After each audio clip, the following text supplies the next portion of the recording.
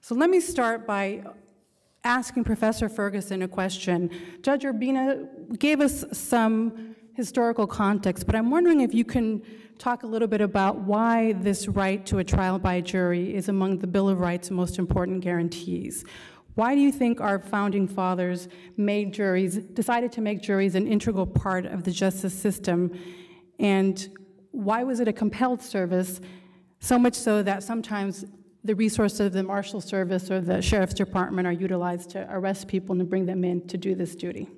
I'd be happy to, and I thank ACS for this uh, wonderful opportunity. I'd note actually the traditional history was even in the time of the founding, when people skipped jury service. They would, the equivalent of marshals would be sent out and they'd be fined in pounds of tobacco um, for failing to, failing to show up for their jury summons. So it's an ancient tradition, uh, an unfortunate one.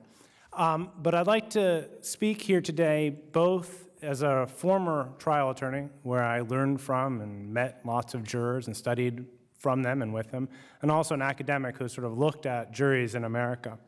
And to understand the idea, which is sort of the fundamental part of this discussion of exclusion and engagement, you have to understand a little bit of American history. Um, symbolically and literally, the jury was part of America before there ever was an America. The right to a jury trial came on those same boats to the Jamestown colony in 1607. And in the Jamestown Charter, there was a right to a jury. In each of the 13 colonies, independently, there was a right to a jury trial. In fact, the British attempt to strip American juries of the ability to try criminal and maritime cases was one of the reasons why there was the War of Independence. Thomas Jefferson, the Declaration of Independence, wrote about the deprive, deprivation of jury trials. It's right there in the Declaration of Independence, and it's there, as Judge Urbina said, in the Constitution, or, or uh, as, as we said in the introduction, in the Constitution. It is the only right not only written in the actual text of the Constitution, but in the Bill of Rights.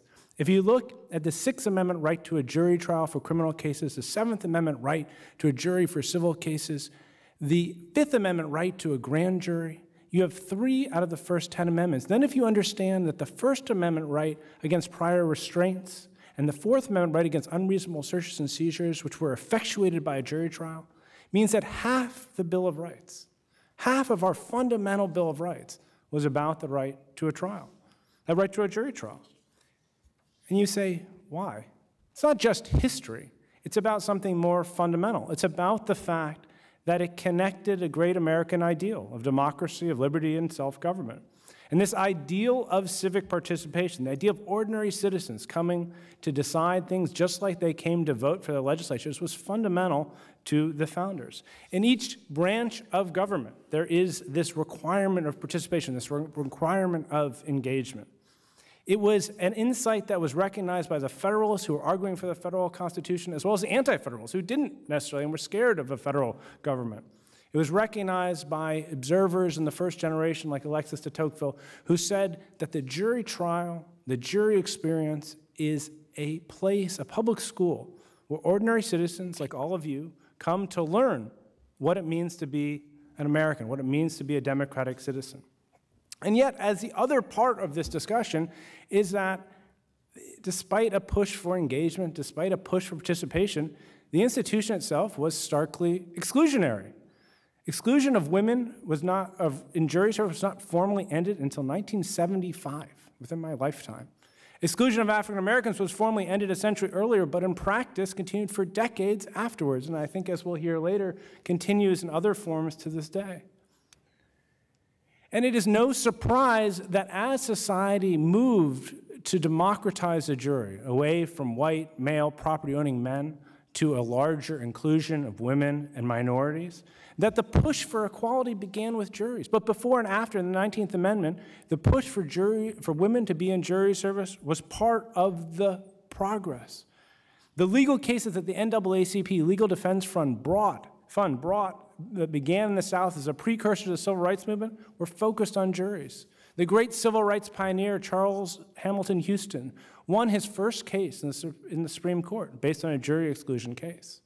And yet, as we heard, when people receive that summons in the mail, do they think about Thomas Jefferson? No. They think about the Constitution? No.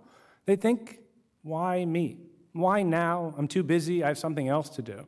And so I'd ask that as we sit and talk about this idea of jury engagement and inclusion, we talk about how we can engage jurors, ordinary citizens, into the principles of the Constitution.